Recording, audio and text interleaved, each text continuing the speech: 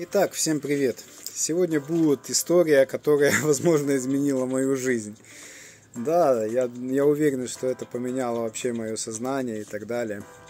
Я расскажу свой опыт, который я пережил в течение около трех часов, ну и после осознания этого происходящего.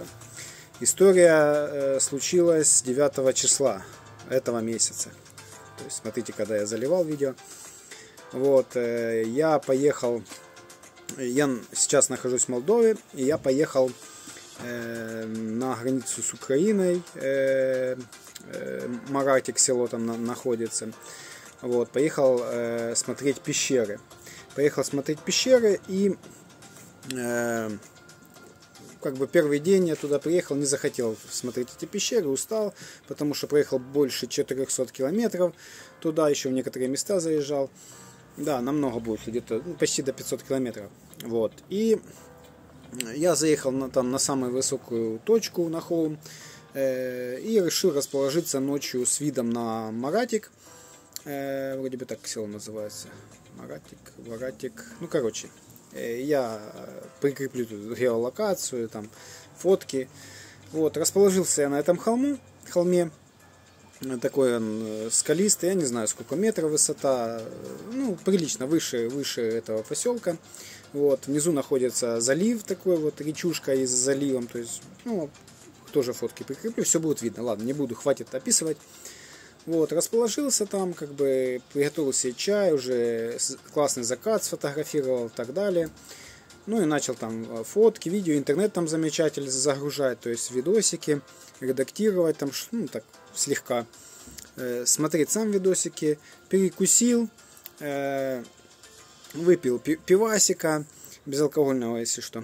Вот, с рыбкой, все замечательно. Ну и уже 12 часов, 12.08 я собираюсь чистить зубы, ложу все свои телефоны, то есть, и иду на камень, там такой камень. Э, они все теплые камни. Э, звездное небо просто нереальное, там супер звездное небо наблюдать, то есть видно Млечный Путь, рукава его. Вот. Я только сажусь зубы чистить и поднимаю взгляд на уровне горизонта, может чуть выше, ну, чуть выше горизонта, может градусов 12, э, где-то так вот, от горизонта, может 15, на меня что-то летит, нечто, нечто, которого я никогда в жизни не видел. И именно с такой реальной скоростью, просто, просто нереальной скоростью, и бесшумно.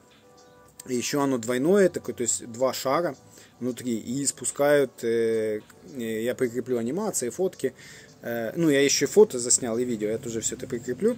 Но фото и видео, скажу сразу, не передает, потому что я делал это в авторежиме, не, сам не настраивал, зум не включал, потому что я был в шоке, я в жизни такого не видел. Сначала я подумал, что это квадрокоптер какой-то там э, с какими-то э, фонарями, которые моргают. Вот. И я еще голый находился, то есть я был голый в одной курточке сверху такая курточка лег, легкая такая, ветровочка можно сеточкой назвать. А снизу у меня все было, было короче. Я думаю, вдруг камера там какая-то хорошая, там ночная или ну, вообще в принципе. А я тут голый бегаю так. Потом думаю, ну нет, это не похоже на квадрик. Очень быстро приближается. Очень быстро, бесшумно. Думаю, может ветер в его сторону, может это что-то другое, может что-то новенькое, что я не видел. Но нет, это неестественно. Ближе, когда становится, я вижу, что это как будто слияние двух звезд, ну звезды нейтронные, как анимация двух нейтронных звезд, такое голубое свечение именно, и э, материал разбрасывает как будто вот в космос, то есть в пространство. И размеры на фото не передать, это только вот то, что самое яркое светится на фото вот, на уровне звезд. То есть вот это я, э, я вам покажу, это вот, э, вот это вот свечение, оно было на уровне звезд.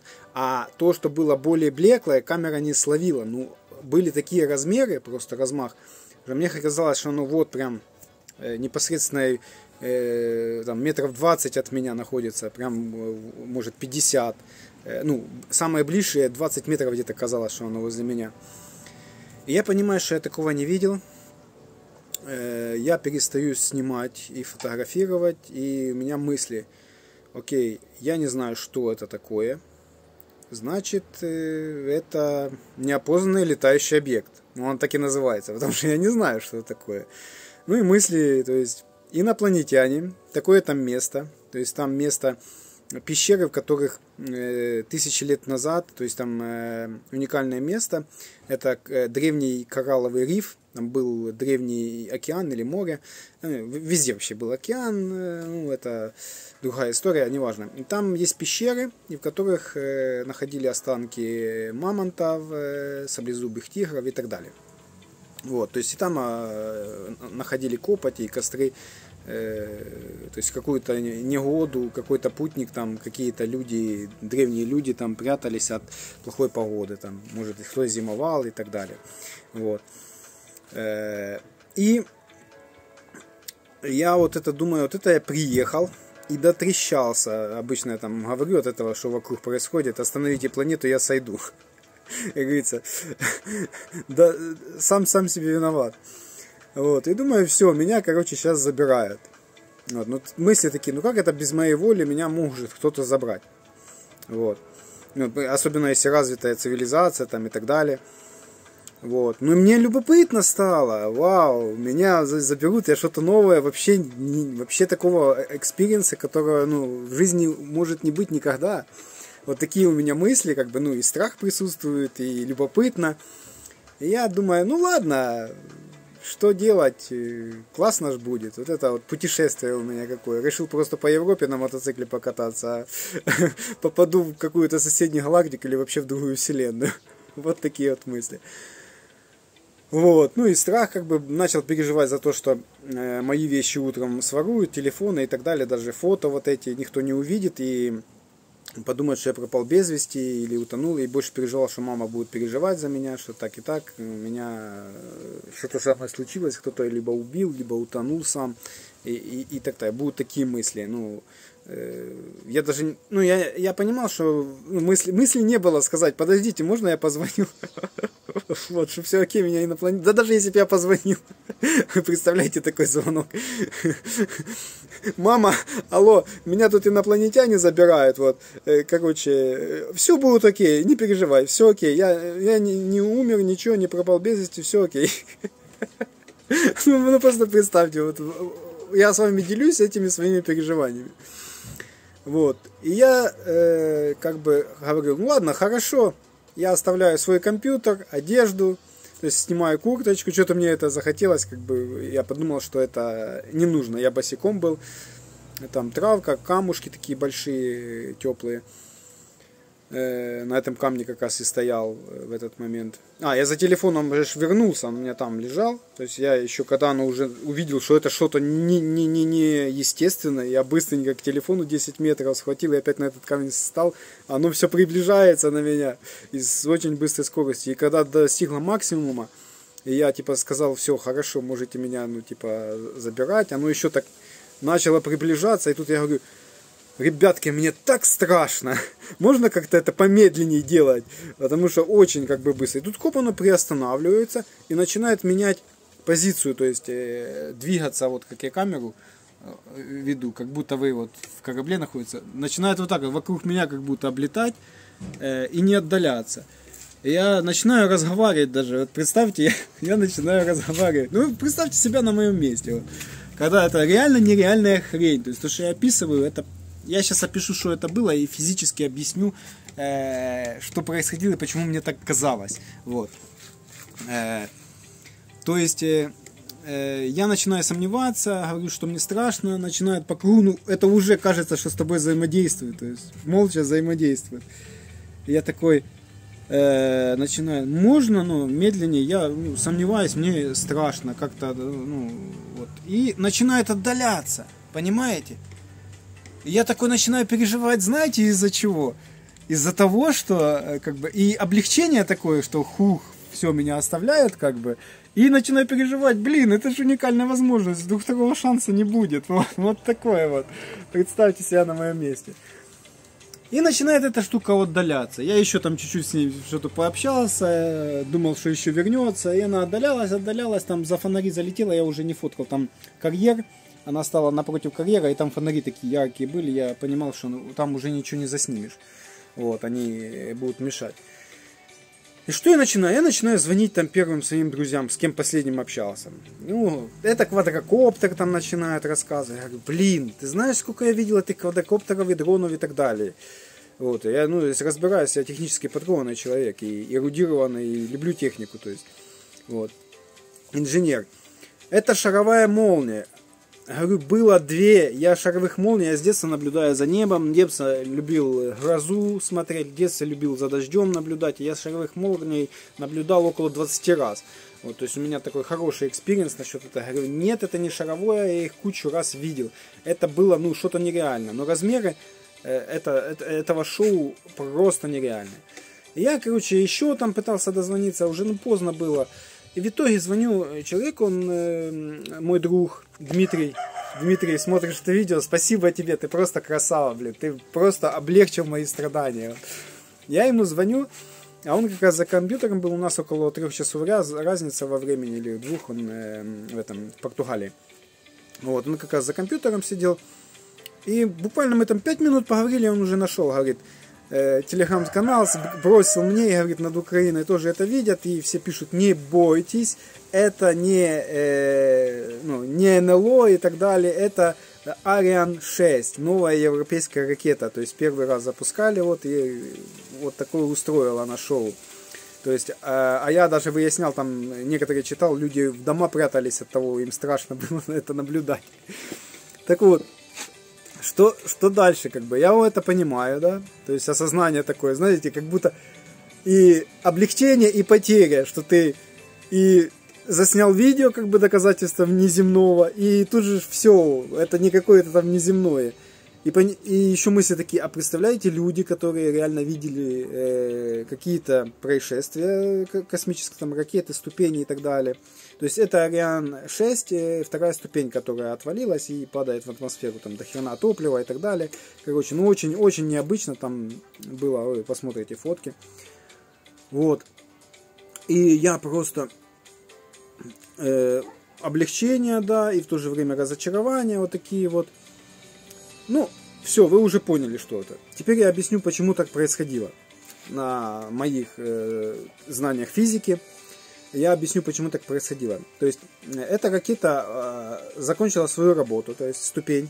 От нее отделилась ступень, э, э, я не знаю, как там по счету, первая, наверное, или... Не, наверное, это третья ступень. Третья ступень от нее отделилась и дальше полетела. Вот. А эта ступень начала сваливаться вниз. Но двигатели не выключены. Не выключены двигатели. И топлива там было много. И она начала хаотично сваливаться, то есть там вращения, кульбиты, потому что выглядело это как будто реально две звезды. То есть там какие-то, может, двигатели заглохли, а какие-то остались они там пересекались, может где-то топливо выпадало, которое создало, и она быстро начала снижаться. Снижаться, плюс еще топливо, вот это взаимодействие с атмосферой, большая скорость, э, там выходит э, иногда и плазма э, создается, вот, возможно, там и была плазма. Всех процессов я не знаю, но я не подготавливался, я говорю экспромом, что я знаю. То есть, и она резко, то есть быстро снижается, и у нас как получается? Те объекты, которые находятся к нам близко, они для нас кажутся больше, да? Ну, это у нас мозг потом интерпретирует, когда мы учимся, вот, когда мы родились, там через два годика мы начинаем а, осознавать через три, что расстояния, которые э, предметы, которые находятся дальше, они кажутся меньшими, а которые ближе, они нам кажутся больше. Вот. И э, когда объект к нам приближается, он увеличивается, естественно, он же к нам ближе становится. А он же э, как бы снижался, приближался в то же время, и вот эти газы взаимодействовали, и он увеличивался в размерах. То есть, э, да, она не, не так быстро приближалась, как мне казалось э, на самом деле, но из-за того, что взаимодействовал с атмосферой, вот эти кульбиты, она создавала как ореол вокруг себя, просто нереальных размеров. Это надо было видеть своими глазами.